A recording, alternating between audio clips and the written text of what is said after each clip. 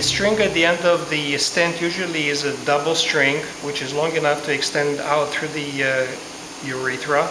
And usually a simple loop can be made with a Kelly, about this size. The long arm can be cut.